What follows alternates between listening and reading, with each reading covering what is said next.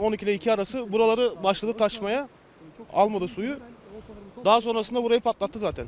Ondan sonra da orada ileride bir ailemiz ma- mahsur kaldı. Onu kurtardık. Saat 2 civarı geldik. Müdahale yapamadık.